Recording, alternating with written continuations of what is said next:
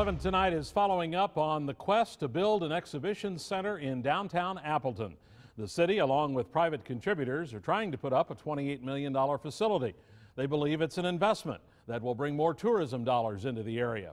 The plan is to build the center behind the Radisson Paper Valley Hotel in what is now an Outagamie County owned parking lot. Tonight, Fox 11's Alex Ronaldo takes us inside the conversation between the city and the county on this potential land deal.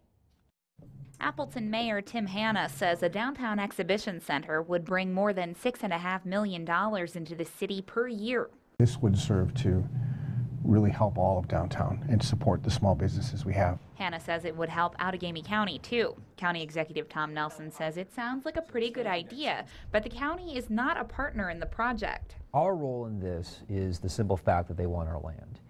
And we have invested um, a lot of money to this piece of land. Nelson says the land's market value is about $900,000. The city is offering to buy it for about 2 million. But Nelson says it's about more than just the money. We have to make very sure that we have any type of, you know, space, security, parking needs uh, fully accounted for. Nelson says the parking lot is important for county business. We're trying to make up for the 103 spaces that are there. And so we do that by signing current on-street parking as county use only. Part of the city's offer would be to give Outagamie County this smaller parking lot on Walnut Street. Together, we add up to about 105 additional spaces.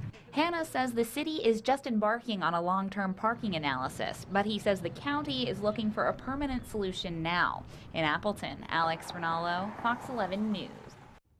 For the deal to go through, first the county's property committee would need to approve any agreement. Then it would need to go to the full county board.